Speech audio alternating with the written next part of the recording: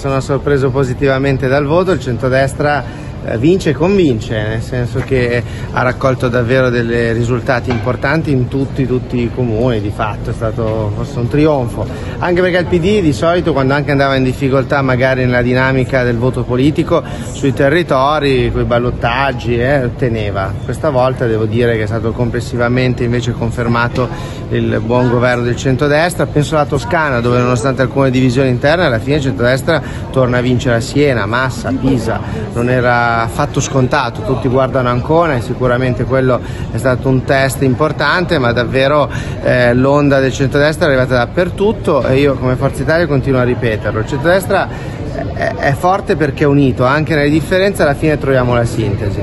Spesso anche noi ci troviamo persone che dicono ti ho votato e magari riconducono il voto non al partito o non subito al partito ma ancora prima alla coalizione che in qualche modo ormai ciascuno di noi rappresenta.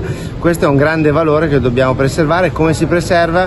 Mettendosi con, eh, rimboccando le maniche a lavorare da, da domani in tutte le amministrazioni comunali vinte.